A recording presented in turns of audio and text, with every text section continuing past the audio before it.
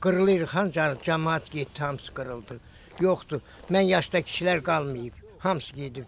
Mən də elə um- umudla yaşayıram Allahın umuduna. Hələ ahıl yaşında doğma kəndi Bağanis ayrımı tərk etməyə məcbur olmuş Şamil Adgözəlov qocalığını məcburi köçkün kimi yaşadığı qəsəbədə gəzib dolaşmaqla keçirir. Deyir, özümü sağlam saxlamalıyam ki, Bağanis ayrıma gedib çıxa bilim. Allaha dua eləyirəm ki, Allah məni öldürmə, kəndimdə öldür. Gedim kəndimdə ölüm. Gedim o sudan içeyim, o yerdən, o yurtdan alayım, oturum yerimdə. İndi görək qaytaracaqlar mı, nə bilim. Bağanis ayrım Qazaxın işğalda olan 7 kəndindən biridir. Bu kəndlə birlikdə Xeyrimli, Aşağı Əskipara, Yuxarı Əskipara, Qızıl Hacılı, Sofulu və Barxudarlı 1992-ci ildə Ermənistan silahlı qüvvələri tərəfindən işğal olunub. Aşağı Esparanın, yuxarı Esparanın arasında erməni kəndi. Son vaxtlar 7 kəndin qaytarılacağı söz söhbəti həmin kəndlərin sakinlərinin yaşadığı Qazaxdakı yeni qəsəbədə də tez-tez eşidilir. Ümid həmişə var indi. O Qarabağda ümidsiz idik ki, indən belə erməni torpağını verəcək, qaytaracaqmı? Sağ olsun cavanlarımız, balalarımız getdi, döyüşdü, aldı. Xeyrimli sakini İsrafil Adıgözəlov danışır ki, kəndin işğalına qədər qonşuları ilə münasibətləri yaxşı olubmuş. Bizim məsafə 1 kilometr yox idi çaramız. Yəni gediş gəliş normal yaşayırdıq. Çox gözəl yaşayırdıq. Yəni uşaq da olsaq gedib gəlirdik yolların kəndinə, heç kim bizlə işi yox idi. Biz də onlarla Dac erməninin trası bizim kəndin ortasından keçirdi. Senter trası bizim kəndin ortasından keçir. İşğal altındakı kəndlərin sakinləri 23 il Qazaxda yataqxanalarda yaşayandan sonra 8 ildir Qazaxbəyli kəndinin yaxınlığındakı Yeni Qəsəbə adlı şəhərciyə köçürülüblər. Cəmaət danışır ki, ev-eşikləri var, ancaq işsizdilər. Bir dənə bu işsizlik məsələsi problemdir. Bax bu cavanlar hamısı indi adi şəxsən mən elə özümdən götürürəm. Mən pensioner adamam. Bax bu cavanlar.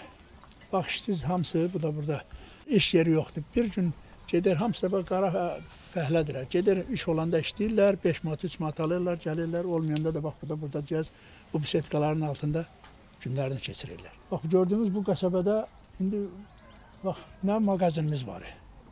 Nə bir çörək tutqamız var, nə bir ət dükanımız var, nə bir dəlləxanamız var. Heç nə də yoxdur. Buradan şəhərə gedirik 10 kilometr. Bu kənd mağazinlərinə gedir, ayın oyun alıb gətiririk. Bizə bizi kimi cavanlar işsizdir. Neçə dəfə məşğulluğa müraciət eləmişəm keçən ildən buraya. Gedirəm, gəlirəm, yarın deyir, hə, bu gün sabah mümkün deyil, hələ ki düzəltmirlər. 1 ildir gedib gəlirəm mən məşğulluğa. İşğal altındakı Qazax kəndlərinin sakinləri danışırlar ki, neçə illərdir çətinliklərə nə vaxtsa kəndlərinə qayıdacaqları ümidi ilə dözüblər. İndi ara-sıra eşitdikləri də onları ümidləndirir. Eləcə Balxudarı deyirik, Balxudarı eşidirik. Allah haqqı. Evladlarımız orada böyüyür. Nə həvəsinə gedərik, nə ola evimin geri yanında olan Balxudarlığa. İnan uşaqların canı üçün nə evimiz var idi, nə eşiyimiz var idi.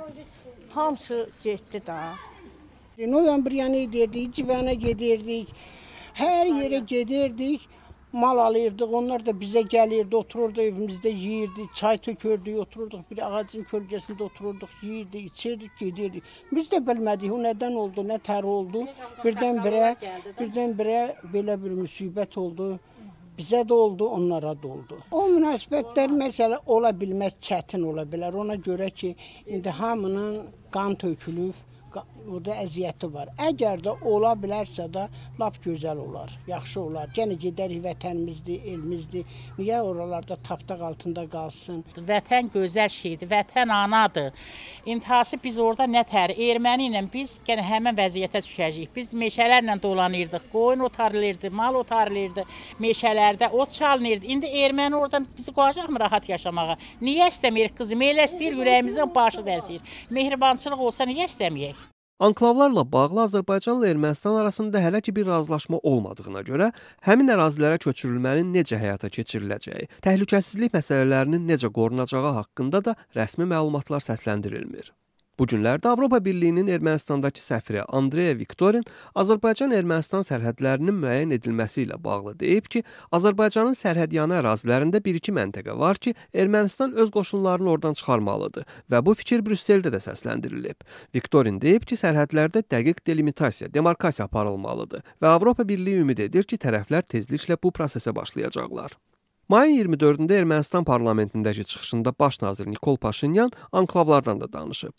Azadlıq radiosunun erməni xidmətinin məlumatına görə baş nazir deyib ki, bu barədə Azərbaycan prezidenti ilə Münhen və Brüsseldə söhbətləri olub və bu məsələnin siyasi, hüquqi aspektləri var. Paşinyan bildirib ki, bu məsələ ətrafında hələ heç bir razılaşma əldə olunmayıb. 44 günlük müharibədən sonra rəsmi Bakı dəfələrlə bəyan edib ki, Naxçıvanın Kərki və Qazağın 7 kəndi də Azərbaycana qaytarılmalıdır. Qazağın 7 kəndindən 3-ü Sofulu, Barxudarlı və Yuxarı Əskibara Azərbaycanın Ermənistan ərazisindəki anklavlarıdır. Ermənistan isə Gədəbəy ərazisindəki anklavı olan Başkəndi tələb edir.